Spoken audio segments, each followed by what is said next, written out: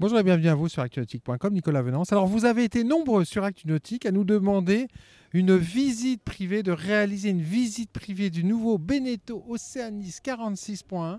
Bah, je vais profiter de ce euh, salon euh, nautique de La Rochelle, ce grand pavois 2018 pour vous proposer cette visite privée de l'Oceanis 46.1. Et pour cela, je rejoins tout de suite Pierre Paturle, euh, concessionnaire Beneteau à Antibes. Pierre, bonjour. Bonjour Nicolas. Alors Pierre, euh, nos auditeurs ont été nombreux à nous demander cette euh, visite privée. On va la réaliser avec vous. Pierre, vous êtes concessionnaire Antibes. Parlez-nous rapidement de votre concession. On est une concession assez ancienne, fondée en 1973 euh, par Jean-Claude Paturle, mon cousin germain, et mon père, un oncle. Donc depuis on s'est agrandi, on a, on a acquis la concession à Mandelieu et à Cogolin. Donc notre secteur s'étend de Saint-Tropez à Menton. Bon, alors maintenant c'est parti pour cette visite. Alors l'Océanis euh, 46.1, Pierre, c'est un, un bateau que vous, en tant que concessionnaire, vous attendiez avec beaucoup, beaucoup, beaucoup d'impatience. Oui, tout d'abord, euh, il a une taille stratégique. On a eu quelques euh, difficultés à caser le 51.1 par rapport aux places de port, mais là, euh, 4,50 m de large et euh, moins de 14 mètres, euh, c'est parfait. On n'a pas de souci de, place de port et on, est très content. Et tous les avantages du 51, on les retrouve euh, à peu près sur le 46.1. On peut voir tout de suite ce bouchin très marqué sur l'avant. Alors le design, c'est Fino Conc, hein, le, complice de Beneteau euh, sur euh, cette nouvelle gamme Océanis. Oui, effectivement, le bouchin est très marqué devant, donc euh, toute la largeur de la coque en profite. On a en plus une stabilité de, forme accentuée grâce à ce bouchin. Le but, c'était évidemment de faire du volume par rapport à, tout ce qu'on voit dans la concurrence, mais en plus, ça fait un bateau qui navigue mieux. Plus stable, ça veut dire plus rapide en fait. Nouveau design aussi de, de roof, hein, une ligne très tendue, très sportive. C'est les, les Océanis, le renouvellement de la gamme initié avec le, le 51, c'est vraiment un, un nouveau design hein, chez Océanis. Oui, euh, c'est la septième génération euh, et ça n'a plus rien à voir avec ce qu'on faisait avant. hein. Donc, euh, par exemple, là, on peut voir tout de suite que les passes avant sont très dégagées. On a rentré le diagonal 1, enfin le, le baoban, de manière à ce qu'on puisse passer sans avoir euh, un baoban en travers de la route. Euh, là, on peut voir que c'est un mât euh, en carbone. Pour le salon, ils ont mis la version ultra performante. Ça ne sera pas très souvent le cas. On peut simplement se contenter d'un mât performant en aluminium avec les e-bags, les e-jacks, un, un foc qui recouvre à 105%. Euh, ça fera un joli bateau, confortable et rapide, qui se crée du vent tout seul dans le petit temps méditerranéen par exemple. Alors, sachant que euh, ce, euh, cet Océanis 46.1 il est disponible en trois versions. Version sportive, on le voit ici sur ce grand pavois euh, First Line, mais également version performance et puis version euh, plus familiale. Donc, c'est vraiment le propriétaire qui va élaborer son, son Océanis 46.1 avec vous, concessionnaire. Oui, il y a une révolution aussi chez Beneteau, c'est que le standard maintenant c'est foc autovireur et grand voile sur enrouleur. C'est la version la plus tranquille. Euh, deuxième étape, on, remplace le foc autovireur euh, par un génois. Euh, on gagne euh, 25% à peu près dans, de surface à l'avant et on peut remplacer la grand voile enrouleuse par une grand voile classique avec un lazy bag, lazy jack et des priseries automatiques qui vont très bien aussi. Donc euh, deuxième niveau de, performance euh, avec le, mât classique qu'on avait l'habitude de voir. Pas, pas en rouleur donc. Et troisième niveau euh, avec euh, un mètre de plus en gréement pour, euh, pour chercher les, les- les- le demi-nœud euh, supplémentaire. Voilà. Alors maintenant, on va, on va monter à bord, on va faire euh, la visite à proprement parler de notre Océanis 46.1. Donc, cette first line présentée sur ce euh, salon de La Rochelle. Alors, la première chose euh, impressionnante, c'est cette immense euh, plateforme de bain. Était-ce nécessaire, Pierre Paturle Ben, on voit tout de suite que c'est un- une merveilleuse plateforme de loisirs. Une fois qu'on est au mouillage, on, ouvre tout et on a un accès à la mer vraiment très facile.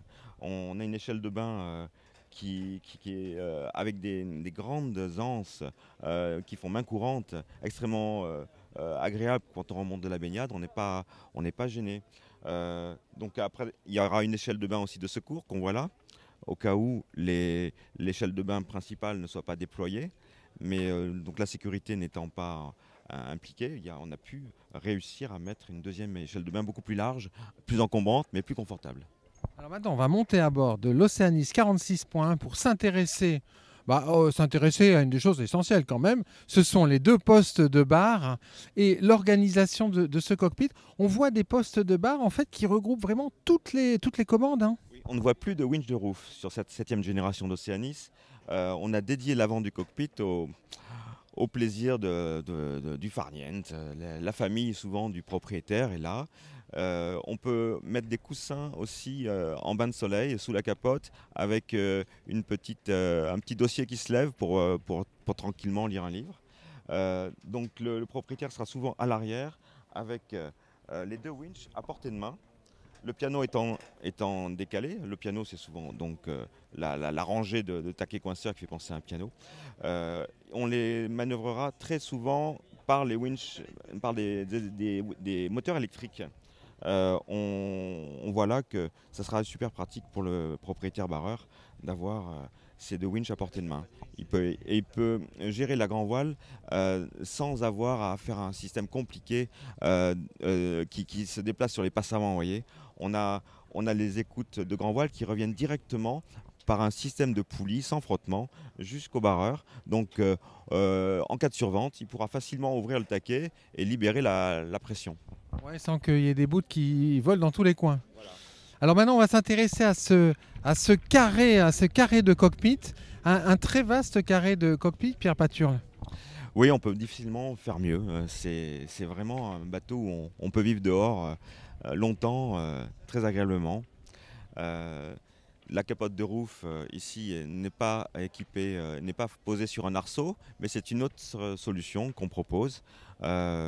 Donc l'arceau permet de, mettre un ensemble capote de roof et bimini euh, euh, extrêmement euh, rigide, de, mettre des mains courantes en même temps sur le côté pour se rendre à l'avant, de mettre de la lumière dans le cockpit intégré à l'arceau. mais bon, les gens qui, ont qui aiment les, versions performantes ont tendance à vouloir baisser le centre de gravité. Donc c'est vrai que ça fait, ça fait du poids un peu dans les hauts et ça, ça diminue l'aspect flush du bateau. Donc on, préfère se passer d'arceau quand, on a quand on est en version first line comme sur ce bateau. Voilà. Alors, euh, 8 personnes peuvent euh, prendre euh, place de part et d'autre de cette table centrale. Table centrale qui accueille un, coffre en fait isolé euh, pour, pour, pour, pouvoir mettre quelques bonnes bouteilles. En standard, il y a de la mousse. Hein. Il suffit de mettre quelques glaçons et ça garde longtemps la fraîcheur des bouteilles. Ça, c'est important. en option, on peut même mettre un frigo, mais ça, ça se discute. Il y a une particularité de ces bateaux, c'est qu'on range la survie au milieu euh, donc elle ne, gêne plus l'assiette du bateau. Vous voyez, la survie est rangée sous la table. Voilà le coffre à survie. Donc c'est bien pratique. On l'a à portée de main. Les affaires maritimes sont contentes parce qu'une survie, ça doit être accessible rapidement, pas dans un coffre euh, trop compliqué d'accès. Ici, sous nos pieds, il y a un énorme coffre qui nous permet euh, de personnaliser le bateau. Nous, en tant que concessionnaire, euh, on peut mettre euh, par exemple un propulseur arrière si on veut. On peut mettre un, désalinisateur, un groupe électrogène un peu différent de celui du chantier. C'est vraiment open grâce à cet immense volume qui est libre.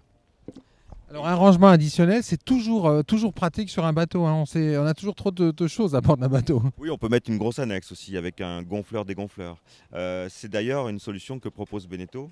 Euh, on a la possibilité de mettre des bossoirs télescopiques à l'arrière du bateau, associés à un gonfleur dégonfleur qui, qui permet de rentrer l'annexe rapidement. Alors maintenant, on va s'intéresser au carré de l'Océanis 46 46.1. Alors, euh, que dire sur l'aménagement intérieur de ce carré euh, Pierre Paturle?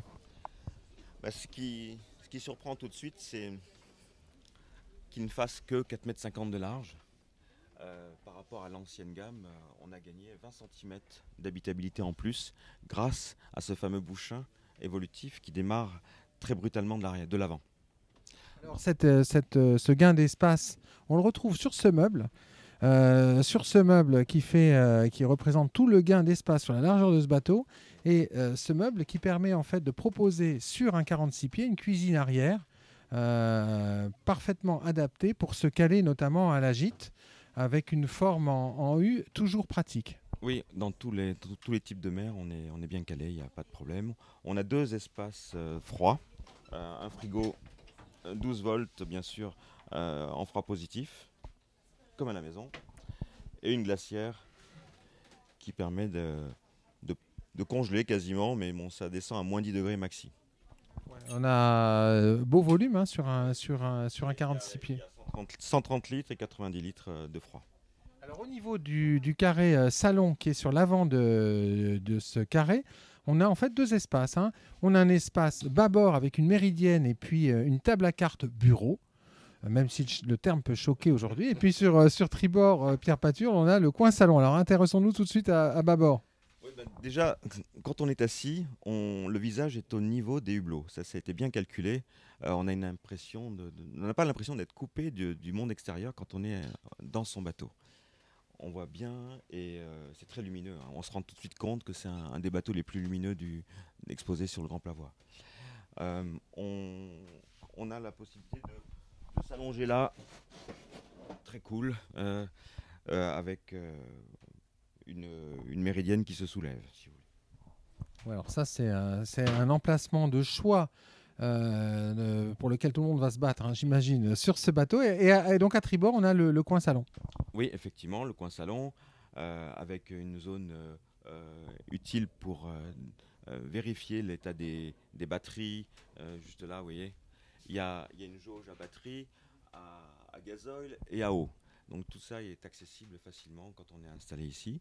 Euh, Là-dessous, on, gère aussi des, choses qui, sont euh, utiles, comme euh, l'arrivée de l'eau chaude à bord, le réglage de l'eau chaude, c'est là sous ce coussin-là. Tout ce qui est euh, pas très utile en rangement parce que c'est un peu loin est utilisé pour des, zones techniques qui, qui nécessitent un accès euh, rapide. Ah bah non, on va s'intéresser à la partie avant avec une bibliothèque qui est euh, reprise euh, de l'Océanicio de 62, toujours pratique parce qu'on a toujours plein de bouquins à bord d'un d'un voilier, on ne sait jamais où les mettre et on va s'intéresser. Remarquez les pontilles. Elle a, elle a changé de look aussi. Les pontilles a changé de look. Euh, elle a été euh, gainée euh, avec du vaigrage. Elle est beaucoup plus fine qu'avant, beaucoup plus discrète. Et euh, chez Beneteau, on, place les pontilles pas à l'endroit idéal par rapport à l'habitabilité, mais par rapport à la, qualité védique du bateau. Donc euh, il fallait qu'elle soit là. Euh, Pascal Conque on a décidé ainsi. Et donc on l'a fait la plus discrète possible. Mais ça gêne pas, vous voyez, c'est très bien intégré. Alors maintenant, la cabine, la suite propriétaire avant de notre Océanis 46.1. Alors là, c'est étonnant. Et, Pierre Pature, on comprend tout de suite l'intérêt de cette carène innovante au niveau de son bouchin et, du volume avant. Parce qu'en fait, on, a quasiment, on est sur un 46 pieds, on est quasiment sur une cabine de 50-55 pieds. Euh, oui, tout à fait. C'est là que le, gain obtenu par le bouchin est le plus euh, impressionnant. Euh, on, a, on a une vraie largeur, deux penderies, c'est c'est assez rare. euh, des espaces de rangement pour les chaussures de chaque côté. euh, tout ce qu'on nous demandait, euh, ça y est, on, l'a. Euh, on a gardé des, jolis euh, équipés ici. Encore une petite euh, euh, bibliothèque de chaque côté. Vous remarquez que maintenant chez nous, on a de quoi régler la, lumière qui vient des hublots de coque. Là, aussi, c'est un grand classique. Et puis, surtout, euh, sur un 46 pieds, on a fait euh, une, un vrai cabinet de toilette d'un côté, avec toilette, et une douche indépendante en face, avec un volume euh, qu'on a rarement vu. Oui, donc en fait, on a un bateau, euh, un bateau, euh, une cabine propriétaire sur ce 46 pieds qui va disposer de son cabinet de toilette et de sa douche privative, une très grande douche privative. Donc c'est vraiment un très très beau volume. Maintenant, on va s'intéresser à l'arrière de notre 46 points avec les deux cabines arrière. On va commencer par bâbord.